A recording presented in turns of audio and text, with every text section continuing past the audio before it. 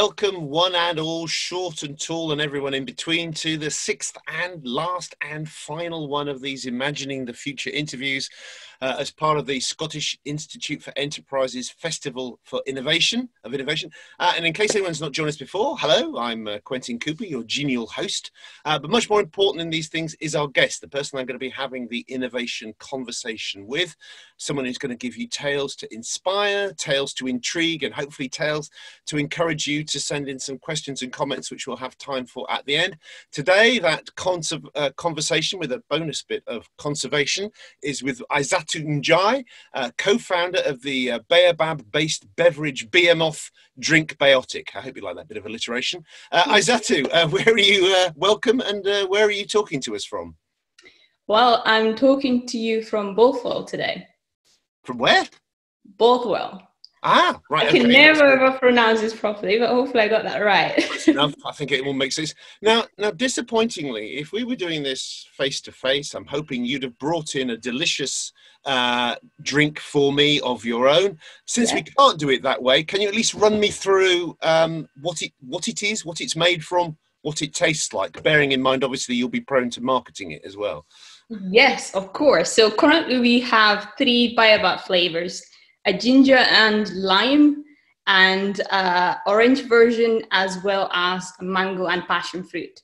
So they all have a little bit of a tang to them that comes from the baobab and and as well as some very nice tropical flavors coming from the passion fruit and mango. And I'm guessing Baotic is the name because it comes from baobab, but also uh, biotic. That's right.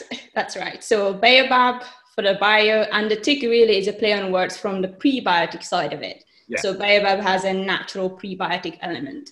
Because this is particularly targeted at the growing kind of gut health market. That's right, exactly. So the gut health market has seen tremendous growth, and think from us understanding our microbiome a lot more, the importance of fibers, as well as the linkage now that researchers has established to our brains even and into our mental health sort of yeah. And did nobody say, "Are you sure you want to have a product whose name rhymes with chaotic"? Not exactly. No, I think many people always pick up on the fact of the play on words from the Baotic, uh, baobab and the prebiotic.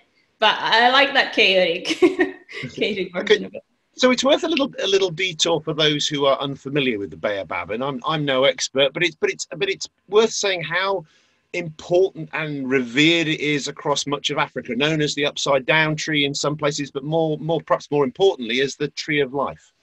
That's right. Yeah. So baobab, I grew up uh, near lots of baobab trees in the Gambia. is a very old ancient tree that grows all across Africa, 33 countries in general, and it's seen as a symbol of uh, wisdom, knowledge, and a lot of inspirations where elders say a lot of stories, folk tales under the baobab trees to children.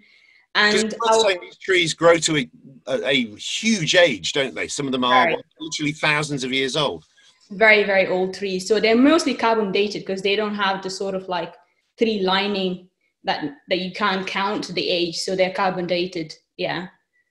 Now you mentioned you grew up in a village in the Gambia, and I think you're you're you're way inland, way east, aren't you, of Banjul? You're about as far inland as you can get in the in the Gambia. And how how much was how much was this part of everyday life? I mean, uh, uh, just to give us a sense, is a baobab if you have a baobab fruit, is that a treat, or is it something that's like, oh gosh, not baobab again? kind of not baobab again, sort of. There is it's a lot, but I guess the different ways we consume it creates that uh, still retains that fun part of it. So growing up my grandmother would put it into um, a porridge a traditional porridge in the morning uh, called mono. My mother obviously sold it in the local market so would make you put it in an ice block because gambia is very hot. So people really enjoy that when the sun is boiling. And then you have it into lollipops.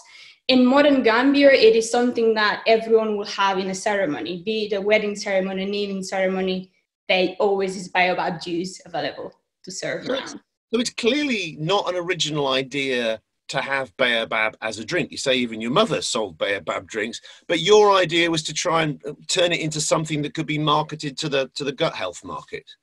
Most definitely, and I, I think, and in the way that that's done. So the Gambian versions are very different to what we we do here. I think the health focus part of it, not putting too much sugar, etc., and the innovation pipeline we have come to. Um, there used to be a traditional thing about baobab, drank mostly in the morning. Children are weaned on it, and if you have a stomach ache, you tell any other person in the village, they will say take baobab but there wasn't any solid research to actually say why that was the case. And I think coming to the UK and for the last few years, we've gone back to actually understand those traditional and cultural beliefs and then work back on literature reviews and researches within universities to actually pinpoint the reasons for that. So it's the way actually a lot of Western medicine, if you like, has worked in recent years is rather than poo pooing folk remedies around the world, they've gone off to where it might be the Gambia, it might be Thailand, it might be Vietnam, and asked people, what are you using as traditional remedies? And then gone to find out if there's actually any sound medical stuff behind them. Yes, most definitely. So, a professor from King's College London uh, called Tim Spector in 2016 um, traveled to one of the last living hunter-gatherers in the world in East Africa to actually look at why their microbiome were one of the most advanced in the world. And he realized baobab was one of the main stable ingredients in their diet. You consuming their diets for 12 days means that his microbiome grew 12, uh, 20%, sorry, approached the average uh, British people, person, sorry. So yes, most definitely. I think it's taking that step back to actually say why did we always do it this way, and how can science give us a validation on some things like that. Okay, so we've established the health credentials of the baobab and the popularity and the reverence of the baobab. Now we need to get to why you and why in Scotland, because you, you did well at school and then you applied successfully for a place at Glasgow Caledonian University. Yes, so why me and why Scotland. So when I went to my agent in the Gambia looking at university, and she asked me what I wanted out of um, the university or the surroundings and areas, I said I wanted to go to somewhere that's really nice. And she said, okay, there's so many places you can find out. What else? I said, well, I've never seen the snow before and she said Glasgow is the best place to go to. uh, but no, in uh, uh, Caledonian University was uh, viewed as one of the best universities in the world to study risk management, and hence why I went there. And Baobab came at the third year of my university when I was studying innovation models and entrepreneurship, uh, reading about Richard Branson and Brewdog. And yeah, I got really inspired. Before that, though, 10 years before that, Paul and I, my partner who started the business, always wanted to bring Baobab. We, we kind of smuggled it into China when we lived there um, because we couldn't buy it there. And while we were enjoying it, we said, you know, this is something we definitely need to bring into the UK. So it's one of those things that you always say you want it to do, and there is no perfect time to do it, and you just have to jump in at some point. And I, am going to jump in at this point for two little footnotes. One, I'm sure the University of the Highlands and Islands, and probably Dundee, and probably Stirling are all going to say they're better for snow than Glasgow. Glasgow's the place if you want rain. And secondly, this podcast does not in any way advocate smuggling things into China. This is not a good idea. so you're you're there, you're on the course, and I think you know it's even as you're on the course, you begin to actually go, you know, go from having this as an idea to executing it. So what were the what were the first tentative steps?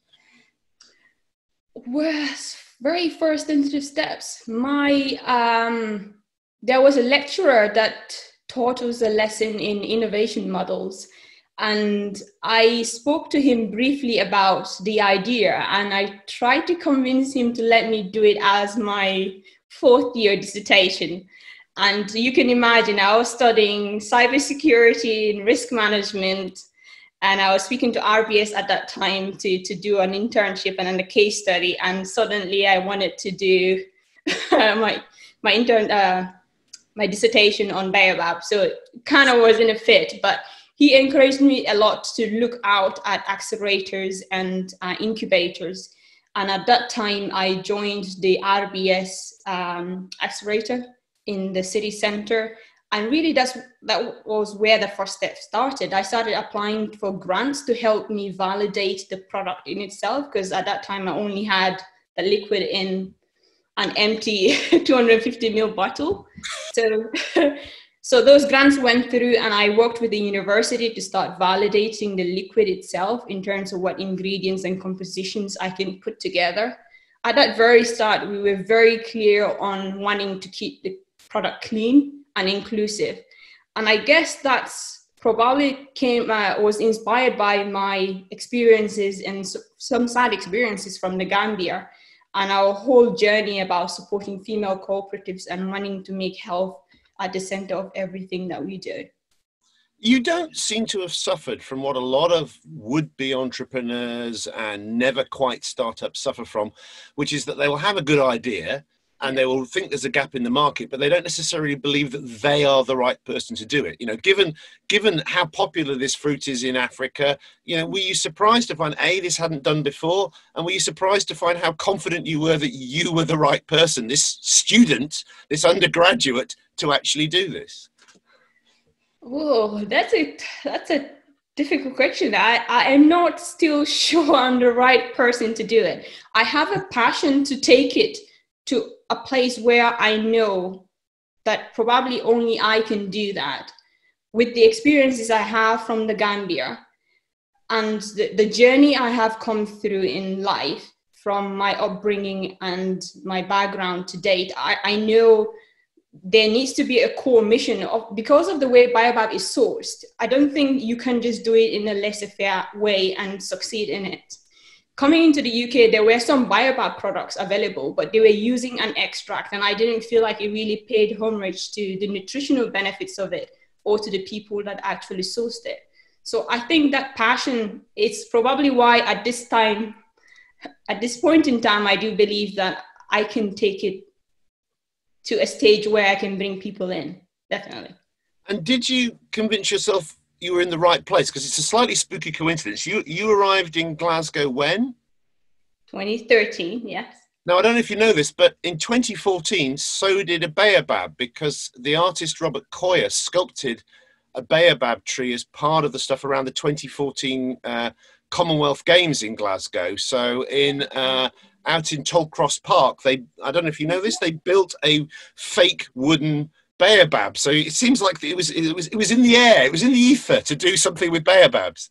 Oh, that's incredible! I didn't know the year actually, but I learned about the sculpture and I went to the park to see it. Unfortunately, I couldn't, but I was gutted that I couldn't see the sculpture. But I didn't know that was 2014.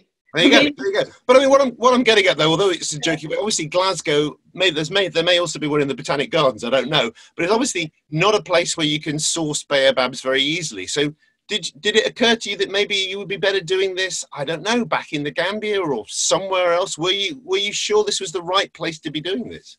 Absolutely, absolutely. I, I think the sourcing of it, obviously, where I am, the sourcing of it creates other geographical challenges. But I don't think, in terms of starting a business as a young entrepreneur, as a graduate, and as a female, actually, I think absolutely this is the best place to have started it the amount of support and actually inspirations from the entrepreneurial community, organizations like the SIE and uh, my university, Caledonian University, I don't think I would have had that anywhere else in the world.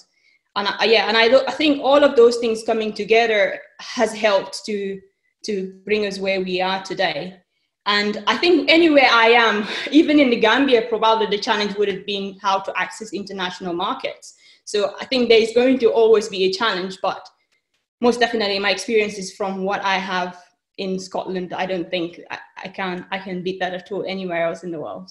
Well, as you say, you, you see, you started to pick up support quite rapidly. You started to pick up seed funding, uh, and you seem to make rapid. And then the next stage was you started to pick up awards, including, I think, one from Virgin Mobile, where as part of the prize you got to meet Richard Branson. That's right. Yes, um, that was an amazing actually experience because I I applied for the whole application and the whole pitching. It was different rounds to it.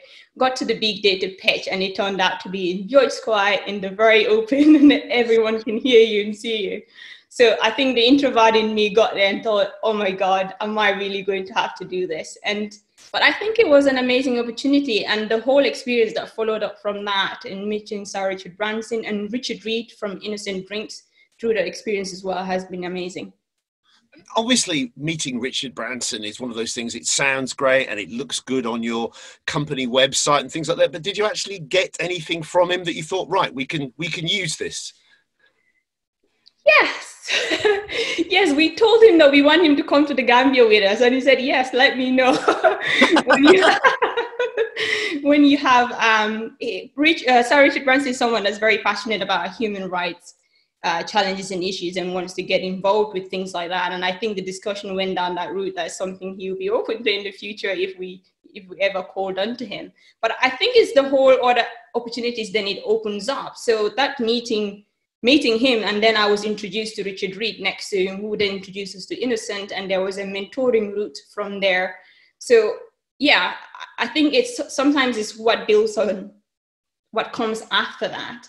Uh, sometimes it's, the, it's a big thing because he has to meet so many other people on the day as well. Okay, so talking of what comes after that, let's fast forward to where you're at now. What's what are you immediately directing your energies towards? Now it is um, finishing, uh, launching the product, and then pursuing some very strong international opportunities we currently have. So last year we went to a few trade shows in the United States where we've had some strong interest from two distributor programs, which will see us selling and entering about 1,200 stores uh, in the States, which is going to produce some very large volumes for us and the type of retail product we have that is essential for, for scale. Um, so very excited to be working on that opportunity. It takes a lot of uh, work in terms of getting all the accreditations, the FDA approvals and so on, but is a journey we're very excited to, to, to be embarking on. And I take it there isn't a limit in terms of the baobabs themselves. I mean, these trees are huge and old and ancient, and but quite slow moving in some ways. You you can definitely keep sourcing enough baobabs for global domination, can you? Most definitely. 32 countries in Africa it grows in. So Zimbabwe alone, they did a research in 2018 that shows about 4 million baobab trees alone in that country. So it is in abundance. And I think um, the World Economic Forum says if it's sourced properly, the baobab supply chain can bring about a million dollars, a billion dollars, sorry, each year to the African continent. So I think there is a huge opportunity not only to impact the lives of women that harvest it, but in uh, commercial terms, financial terms, a huge opportunity as well through that because it is worth stressing this is an important part of what you do you're always trying to kind of replenish roots in the community give empowerment, give us greater strength to individual villages that are out there as well. This isn't just a kind of something you say; it's a commitment in the in the structure of the company. Most definitely, yes. I think we have pledged about ten percent of our profits going to to these communities, and and for us, it's because it came fast. It supporting these communities is what we've been doing for ten years before Baotic. It it has to be something that is part of us and how the business grows. And we would want that to be more. It just depends on how we bring in shareholders and how we grow as a business. Now you've come a long way in a relatively short time. Like you say it's only what seven years since you first hoved into scotland in the first place anything that really stands out from it anything you're particularly proud of in that journey oh gosh that's a difficult one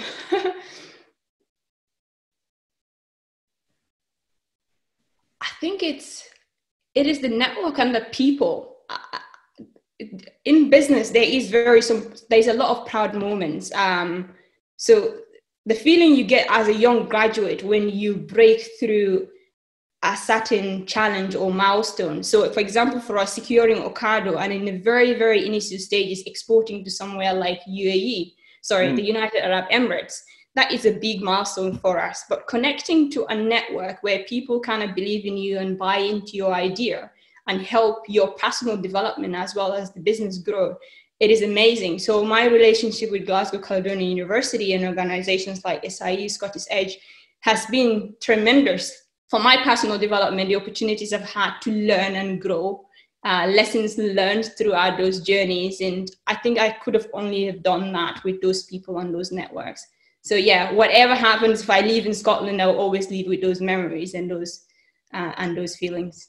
Not that you're saying you're leaving Scotland at any point. no, no. and what about the flip side of that? Any moments of resilience where you where you kind of nearly could have failed? Uh, yes, uh, lots of them.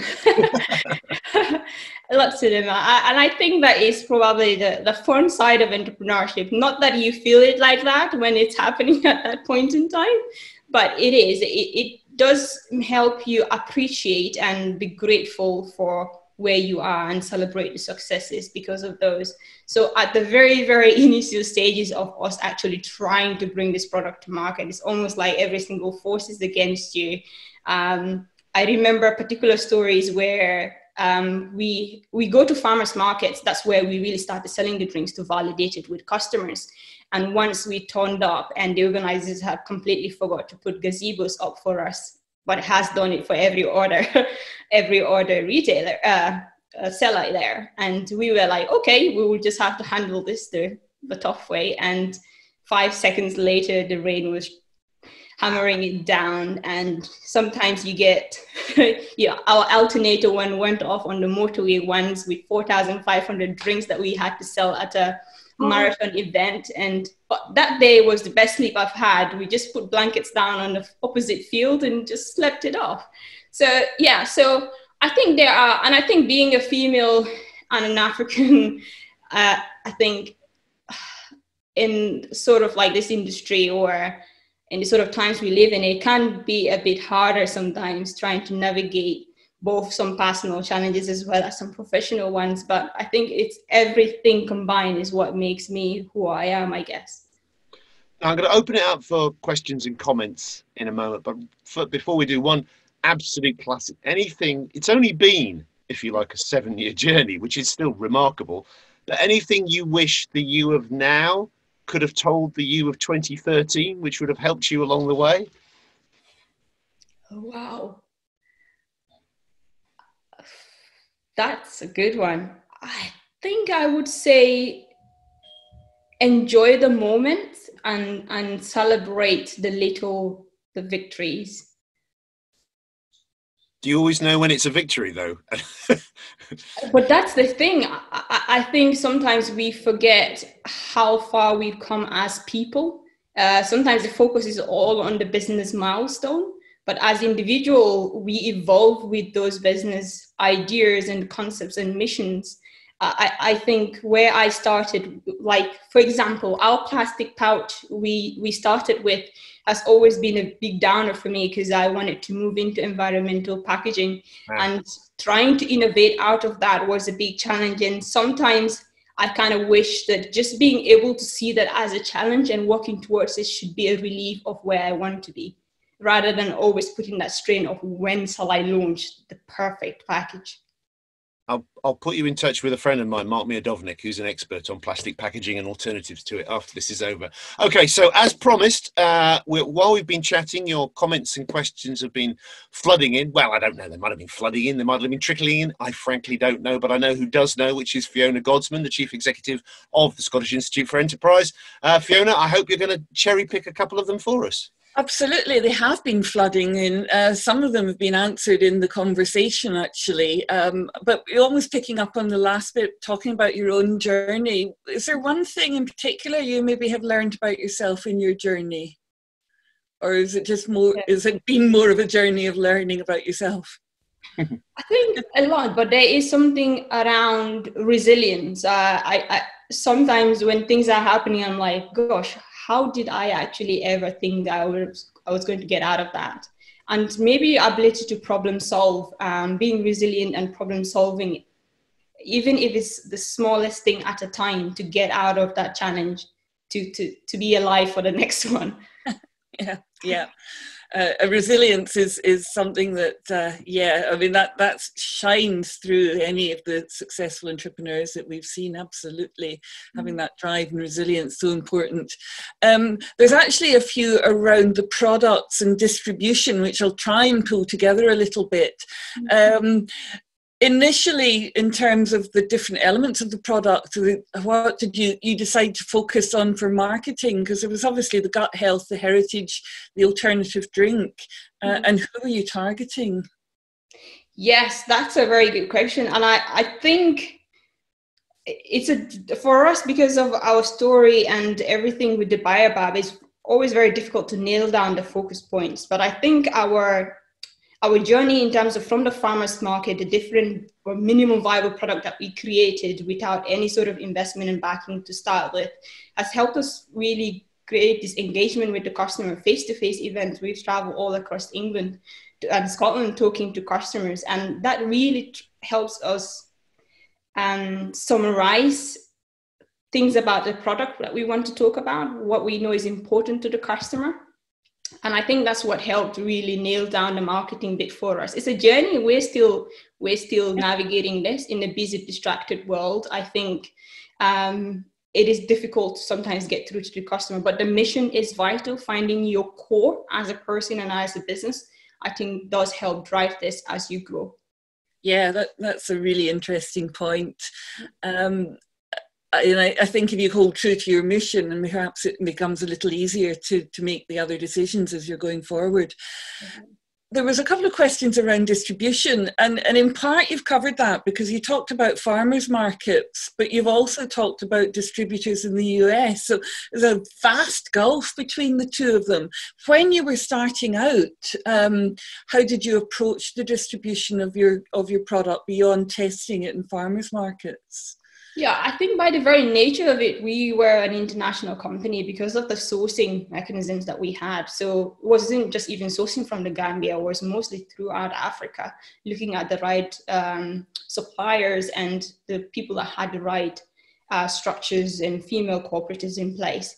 And then being in Scotland, like you say, it was amazing in terms of the support that we have, but it was a premium health product and we knew it wasn't going to be the biggest market for us. So instantly from the very beginning was looking at who else or where else around the world that this appealed to. So from desktop research, from linking with Scottish uh, Enterprise and their research services, looking at who are the main distributor channels across the US was a big gut, big gut health market.